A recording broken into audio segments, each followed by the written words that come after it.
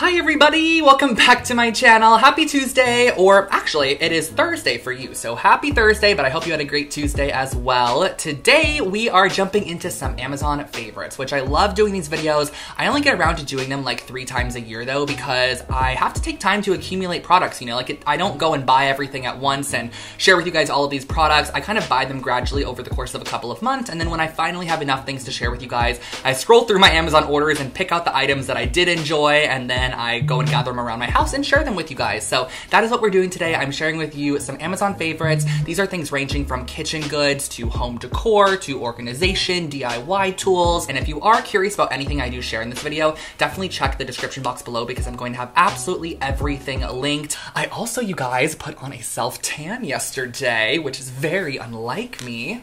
Do I look glowy? I don't know.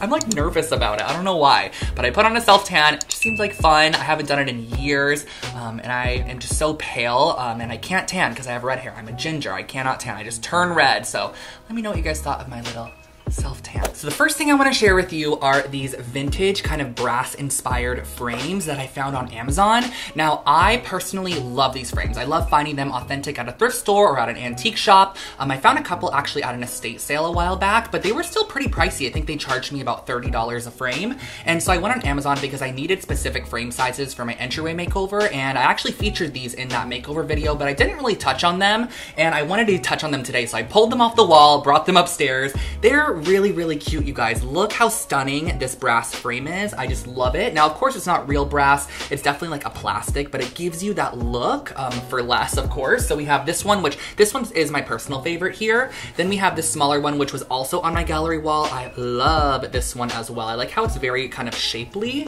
And then last but not least, we have this one, which I actually didn't end up using in the wall, but I did order it. Uh, and I'm gonna keep it in my stash because it's super cute. Like I could so imagine this above a toilet with like a little landscape artwork in it or like above a bed or just something mixed into a gallery wall. I just love these frames and I had no idea you could buy like similar looking frames as the antique ones that everyone uses in interior design because sometimes it's hard to find them. It's very hit or miss. So if you do need one for a project, check out Amazon and I'll link all three of these below for you guys. Next up, we have a set of coasters. And yes, I do not need any more coasters. I literally share a set of coasters every time I film these videos, but something about purchasing coasters to me makes me so happy. Like I feel like it's such an easy price point to sometimes be like, oh, I don't need another coaster set, but you know, it's only $10, so I might as well just pick it up. This set was so cute, and I've been seeing like cottage core vibes trending a lot lately, and look how adorable this little rattan kind of cane coaster is with a little scalloped edge on it. They're actually crafted so nicely. Like they're very, very sturdy and strong,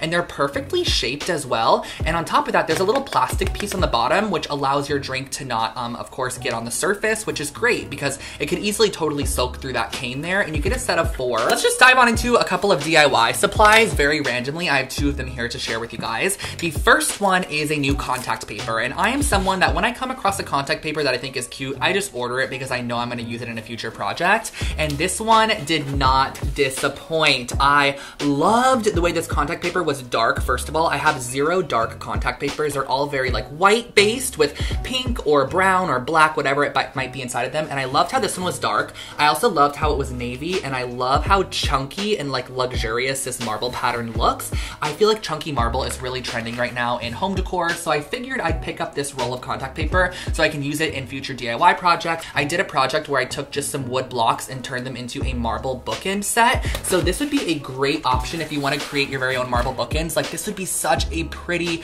marble bookend. And then this right here, you might be asking, Drew, what is this? And I've only used it once so far, but it works amazing. And I know I only have used it once before, but I have a different one that I've used for 10 years. It is a heat tool. I share it with you guys on my channel all the time when I'm doing DIY projects. And a lot of you guys are always like, that's not a heat tool, that's a blow dryer. But it actually is a heat tool. It is a Tim Holtz Ranger heat tool from back when I used to do scrapbooking. However, I feel like it's just outdated. It is legit 10 years old. I'm not joking you. So I wanted to upgrade to something a little bit stronger. And if you've never used a heat tool before and you are a DIYer, I highly suggest splurging on one. This is only like $35, but it speeds up the drying time of any project. So if you're painting and you need multiple coats, you can heat gun it up. That's what we call it, heat gunning it. I'm like, let's heat gun up this vase. It's fully dry in a couple of minutes. You can apply a new coat, heat it up again, and it is dry and ready to go. So I use this all the time when it comes to drying projects for videos or drying projects in general. Okay, here's a cute little decor. Now this decor actually came totally different than how I expected it to come. I purchased this thinking it was going to be a tabletop vase and I wanted to originally put this on my media console out in the living room. I thought it would be really cute with like, you know, like a little plant coming out of the top. That was the whole vibe. So imagine this just like on a little wooden media console, but then it got here and it's wall mounted. But the thing that I love is that I've never ever seen a wall mounted version of this before. I have seen hundreds of these like Grecian goddess heads that um, are like planter bases and I know I could get them anywhere. Um, so I purchased one on Amazon because it was the cheapest option and then I realized that it was a wall mounted one, but I think it's really cute. I'm gonna keep it in my stash for sure because I could totally find a use for this in the future. And I love the color of this one as well. It's kind of like a grayish sage, but it has the slightest bit of distressing on it as well, which I quite like. And then the nail hole in the back allows you to hang it on the wall and use it as just a really cute wall planter. Okay, I finally broke down and bought a new kitchen set. It looks like this. It's so heavy. Oh my gosh, I'm gonna drop it. I've had the same exact kitchen set for I think since 2014. It is a Dwell Magazine times Target collab. It's like a silvery one. It, I wasn't even into interior design when I bought it. I just thought it was cool in itself and I've had the same one forever. Never have purchased new plates or bowls ever. So I decided to go ahead and splurge. Well, not really splurge because you get four full settings with four pieces in each setting for 40 bucks, which I thought was such a great deal. And look how cute these are, you guys They're like ceramic. They have a little matte finish on the bottom here, and then like the top of it has a speckled glaze, which I love. And the bowl is just such a cute shape. I love it. And then we have, of course, the little salad plate and the dinner plate as well at the bottom there. And I just thought that these looked so nice um, and they were super simple so I can add whatever I want whenever I'm doing place settings or anything like that. This is just like a very simple base that you can add to, but it still has some interest to it. I like the little matte glaze section at the bottom here. Very random, quick little item I wanna share with you guys. This spray paint here. This is the Rust-Oleum American Accents Stone Textured Finish. Now, I personally am not a fan of this color if you could see that up there. It's like a taupe with black and white speckles in it. Not cute for me, I don't like it, but I do like the texture that it gives off. So you can spray this on any vase um, or any project at all, and it gives a chunky texture, let it dry, then spray a new coat of paint over the top of it, and you get that texture underneath, but you get your new color over top. So I like using this as a sprayed base. I have yet to film a project. I've used it, of course, in the past, and I've used it on personal projects and things, but I have yet to actually film a project with it. So it's gonna be on my channel very shortly. I'm excited to use this. I hadn't used it in a while, and I ordered a new can of it, so I I can definitely share projects with you guys, but it's a great can of spray paint. I am a coffee table book addict. I love having a ton of different coffee table books around. And yes, I actually do look at them. I look at them quite often, but the thing is, is that for my Instagram and my YouTube, you guys, I am constantly restyling spaces to share with you guys new ways to do things. And having the same books in the same spaces over and over again just kind of gets boring to me. So I love having options on hand. It just comes in handy, you know, when I want to style something. So this one was cute. I love the color of it. It's like a yellowy, kind of unsaturated tone. Something about this book just mixes eclectic with like on trend very, very well. Um, sometimes I feel like coffee table books can be really outdated. It's not something that is constantly being updated. It's like one book that was made six years ago and you know, some of those styles aren't around anymore or trends have changed. However, this book I feel like really, really encapsulates like a lot of things I've been loving lately. Uh, there's lots of arches in here, neutral tones, like very eclectic textures, and just all around there's really fun stuff in this book. So I highly suggest this if you're looking for a coffee table book. It's also a substantial size and it looks really cute on the edge too. So you can style this on a shelf or wherever you want to use it. And again, the content inside is amazing. So all around a great coffee table book. This is a set of mixing bowls. I personally have had the same exact one mixing bowl. I've had one mixing bowl since I've lived in Los Angeles for seven years. It is that big, round Ikea stainless steel bowl.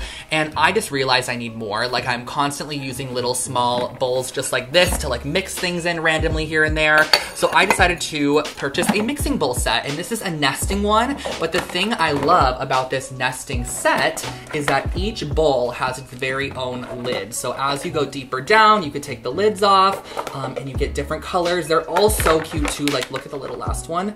Um, they kind of ombre from cream to green. The thing I love is that you get like six different sizes. Each of them have a lid. So if you're mixing something or you're serving something, whatever it might be, you can pop the lid on, store it back in the fridge, and you are good to go. You don't have to transfer it to a Tupperware or anything. A throw blanket that is just sitting right next to me, which I love. This is probably my favorite throw blanket I've ever, ever purchased um, online before because most times I just buy them in stores so I can kind of see what I'm getting. But I saw this one and the pattern was really intriguing to me. I just thought it was a perfect mix of kind of like interesting but neutral but woven, full of texture, has tassels on the end, and I just like this blanket a lot. It looks so much more expensive than it actually costs. And if you guys can see the actual texture in the weave, it's really nice, but it's still soft. A lot of times with these woven blankets, they're not soft, they're kind of more itchy and decorative, but this one is nice. And I love how one side kind of features more white and then the back side kind of features more black. So depending on what colorway you want to go for, you have two different options there and it's just a substantial blanket. So this next thing might look a little strange. You guys are like, what is that? Now this is a really cute little plant stand or just like a little pedestal that you can really use anywhere. So I wanted to go ahead and use this actually in a in the shelf in my dining room and put like a plant on top of it so that I can then, you know, elevate the plant a little bit and give it a little bit more interesting detail.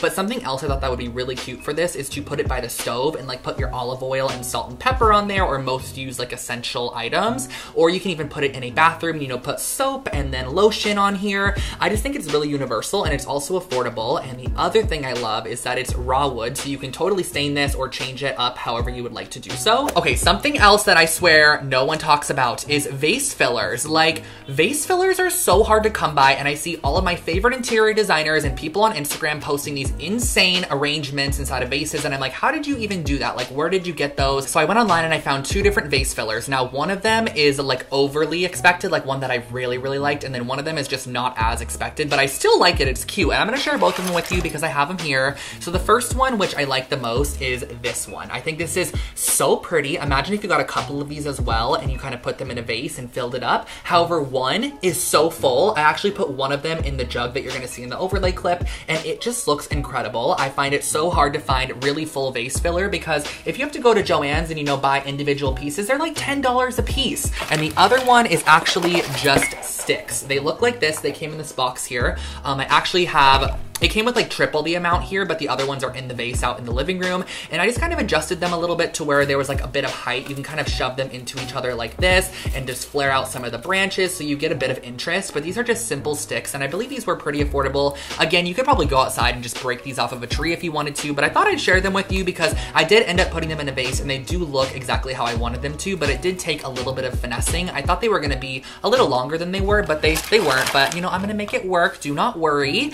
And then the last thing that I want to share with you guys are actually these little glass containers here. And they have little lids on them with a airtight seal. Now, my friend Erica from Peony and Honey actually posted on Instagram that she had bought these specifically for her supplements and vitamins and pills and things. And I just love that. I immediately went on Amazon, bought the same pack, and I did just exactly what she did. So as you can see here, I have my ashwagandha, which is great for anyone who's anxious. It's like a natural mood booster. And then I have my daily vitamins from Ritual here. I'm gonna put my Advils in one and just put all of my supplements in these little jars. They're airtight, so it's perfect for them. Um, and all around, I think it's just a cuter way to display them as opposed to having a lot of different pill bottles in your cabinet or things like that, you know? So I just like this, and you get 12 of them in the pack as well, so you get a generous amount, but you can also totally use these for craft supplies, whether it be, you know, little paper clips or safety pins or just little small things you could use to store them in these as well. And I just like the idea of making a label for the front so you know what's in there. And yeah, I think that that is everything I wanted to talk about. I'm looking around to make sure. think we covered it all, and I want to thank you guys so much for watching today's video. And if there was something that you did like, definitely check the description box below for all of the links for everything.